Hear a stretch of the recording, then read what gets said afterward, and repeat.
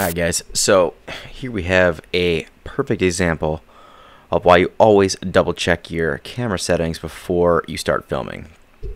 So I accidentally filmed my entire intro sequence here in slow motion without audio. So enjoy this slow motion footage of me talking to you while I talk to you. So all I was doing here was just explaining what had happened during my prop strike. So if you didn't see that video, I'll put a link above right here. Um, but this is the piece that came off while I was flying. So I was replacing the pull starter. Um, that pulley that you see there, that red pulley was damaged, I believe from the factory. And I had removed the pull starter and just tied it off to one of the spars uh, while I was flying.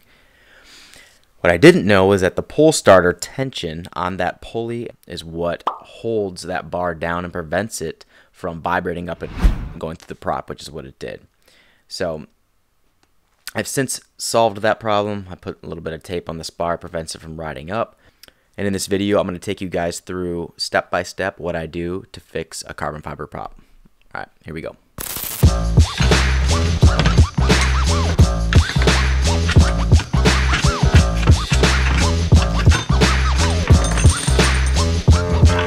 Okay, so here is the damage to the prop. So this piece here, again, not this piece, but this came off and uh, I'm assuming it struck it pretty much just like that. Might have gone in like that, I'm not sure, but it's a round aluminum tube, so luckily it actually shoved the piece of carbon fiber into the prop, so the balance never changed. When this broke, I didn't feel any vibration, nothing, um, and it's far enough inboard that I don't think it's gonna be structurally too much of a deal. This I can definitely repair, and I'm gonna, what I'm gonna do is take this piece of carbon fiber out, refill that with foam. I'm gonna hollow out all the old foam, refill that with foam. I'm gonna find some, probably take it out of an old E-prop that I broke. Put that piece back on, Q-bond it, sand it, make it look nice as possible, and uh, we'll go from there. So let's get started.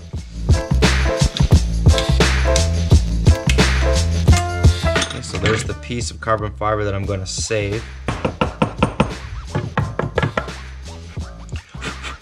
That's the damage. So you can see the foam inside there. Got a pretty good look at it. Looks to be damaged. I gotta see if super glue is gonna eat that foam away. Super glue um, melts certain foam, so definitely gonna check that first.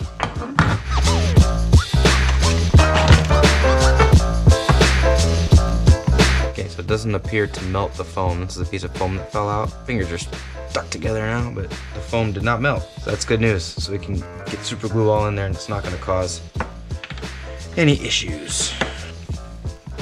So when carbon fiber breaks, the uh, fibers splinter along the fracture surface. So when you go to put the two surfaces back together, they don't lay flat anymore because those fibers are really small and they don't they don't mesh back together. So you actually have to cut those off and kind of make it like a bigger groove so that you can fit the Q-bond in it. So that's all I'm doing right here.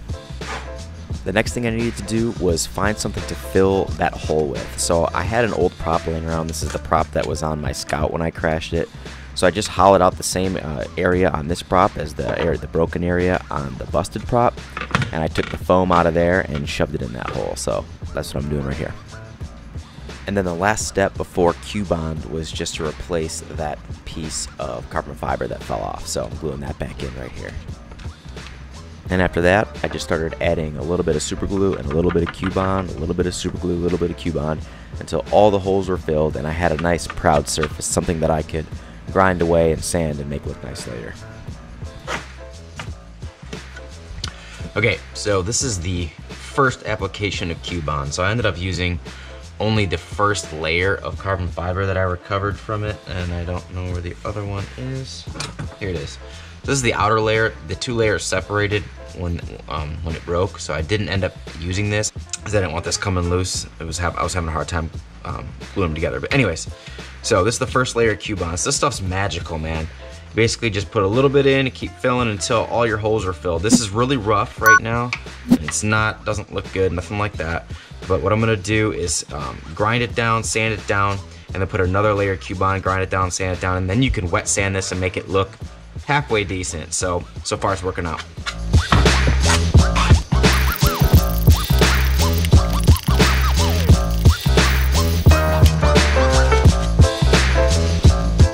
Okay, so I'm getting it fairly close.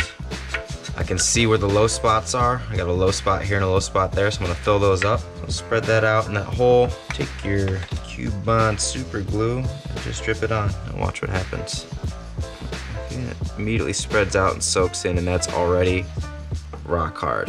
So except for that little bit that overflowed there, dab that away and you can see that's ready to, it gets hard immediately. Stuff's amazing.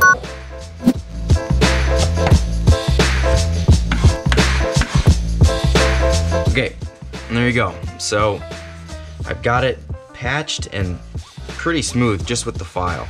The rest I'm gonna do with sandpaper and I'm gonna go and wet sand it and try to make it look nice. I'm even gonna buff it eventually, but I think you could fly it at this point.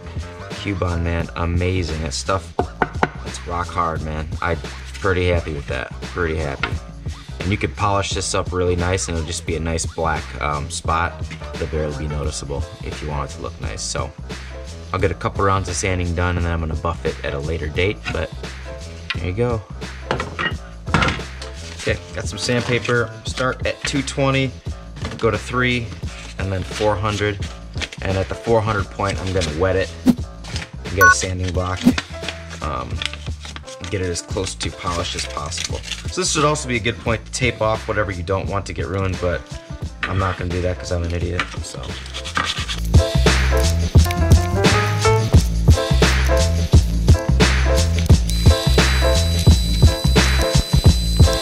Alright, so I am really happy with that. That's almost perfectly level. It's not smooth yet, still have to wet sand and everything, but I don't know how well the GoPro's showing it, but you can kind of see where the Q bond is. And um, it's it's it's almost perfectly blended. So it'll be it'll be perfect once I once I wet sand it. So I'm also gonna sand off all this and I'm gonna buff the whole thing. But looks good. You could fly that if you wanted to.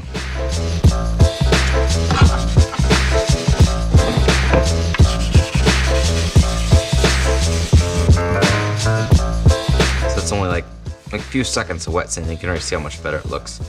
And it's it is perfectly smooth, man. Really good.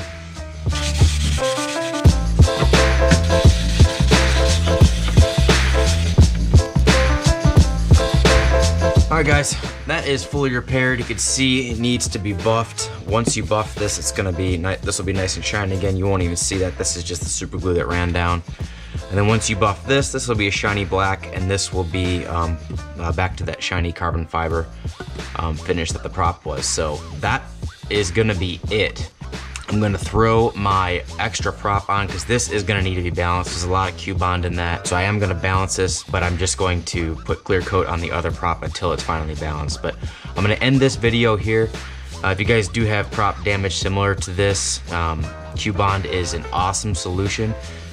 Just make sure you guys clean up the surface, get rid of all the excess carbon fiber, anything that's sticking up, that, so you can sand this smooth. I had a lot of success with Q-bond rebuilding my um, Scout but there you have it, guys. Prop repaired. Ah, see you guys in the next one. Alright, so here's some pictures of the final product. Um, I'm mostly happy with the way it turned out. The only thing I would change is I used um, like spray paint clear coat for this. Ended up looking nice, but I have a feeling it's not going to be as durable as something like an epoxy clear coat. So if you guys have any recommendations on like a hard epoxy clear coat, something that maybe is, comes in a rattle can, uh, comment down below because I'd be interested. Alright, thanks for watching guys. Like, subscribe, Instagram, all that jazz. See ya. Peace.